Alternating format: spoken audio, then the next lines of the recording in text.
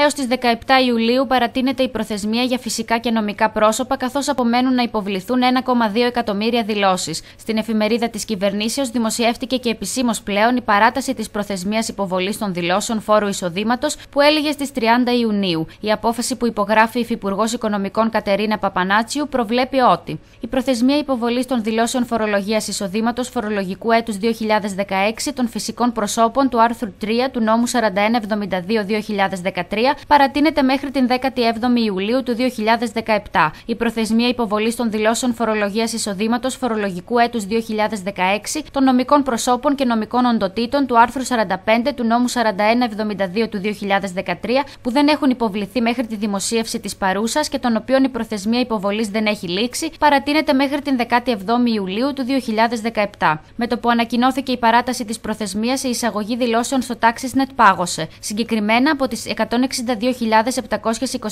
δηλώσεις που υποβλήθηκαν στις 29 Ιουνίου, στις 30 Ιουνίου υποβλήθηκαν λίγο περισσότερες από 1.700. Συνολικά οι φορολογικές δηλώσεις που έχουν υποβληθεί και έχουν καθαριστεί στο TaxisNet ανέρχονται σε 4.733.376, ενώ σύμφωνα με τα στοιχεία της Ανεξάρτητης Αρχής Δημοσίων Εσόδων έχουν υποβληθεί και 2.343.266 δηλώσεις ε2 και 923.002 δηλώσεις ε3. Από τις 4.733.376 εκαθαρισμένες δηλώσεις φορολογίας εισοδήματος, οι 2.096.451.000 δηλώσεις είναι μηδενικές, το 44,29% του συνόλου, οι 1.879.261 δηλώσεις είναι χρεωστικές, το 39,7% του συνόλου και οι 757.664 δηλώσεις είναι πιστοτικές, το 16,01% του συνόλου. Κατόπιν της παράτασης της καταληκτικής ημερομηνίας υποβολής, επίκειται η κατάθεση διάταξης με την οποία θα διασφαλίζεται η διατήρηση της καταβολής του φόρου σε 6 δόσεις. Έτσι και για δηλώσεις που θα υποβληθούν έως τις 17 Εβδόμου, η πρώτη δόση θα καταβληθεί έως τις 31 του ίδιου μήνα και οι υπόλοιπες 5 μέχρι την τελευταία εργάσιμη ημέρα των 5 επόμενων μηνών, η οποία δεν μπορεί να εκτείνεται πέραν του ίδιου φορολογικού έτους.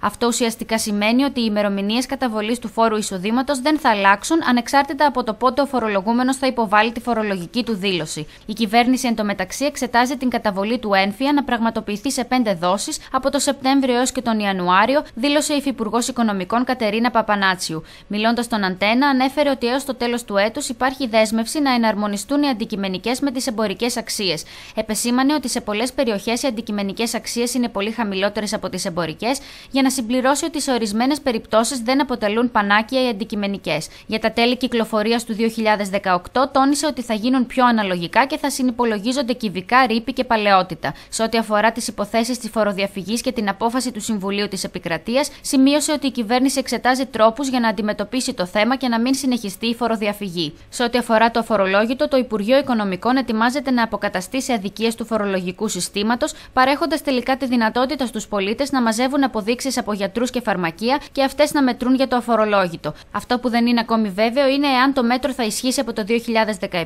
ή θα ξεκινήσει από τις αρχές του επόμενου έτους. Ένα άλλο θέμα που αφορά σε περισσότερους από 200.000 φορολογούμενους έχει να κάνει με τις δεσμεύσεις τραπεζικών λογαριασμών. Σύμφωνα με την τακτική αρκετών τραπεζών, ένας πολίτης που έχει δεσμευμένο λογαριασμό δεν μπορεί να χρησιμοποιήσει τη χρεωστική του κάρτα ούτε για αγορές ούτε για ανάληψη μετρητών από το ATM. Σε αυτή την περίπτωση, ο πολίτης πρέπει να πάει στην τράπεζα για να πάρει από τον κισέ χρήματα έως το ύψος του ακατάσχετου λογαριασμού, δηλαδή τα 1250 ευρώ. Αλλά ακόμη και αν λάβει τα μετρητά, το κτίσιμο του οφορολόγητου δεν μπορεί να το πετύχει, καθώς δεν πραγματοποιεί συναλλαγές με ηλεκτρονικό τρόπο. Στο Υπουργείο, ύστερα από χιλιάδες μηνύματα πολιτών που βρίσκονται σε αυτή τη θέση, πραγματοποιήθηκε σύσκεψη με τη συμμετοχή εκπροσώπων τραπεζών προκειμένου να λυθεί το πρόβλημα και οι τράπεζες δεσμεύτηκαν να προσαρμόσουν άμεσα τα μηχανογραφικά του συστήματα ώστε να μπορούν να εξυπηρετούνται οι πολίτες μέσω των ATM.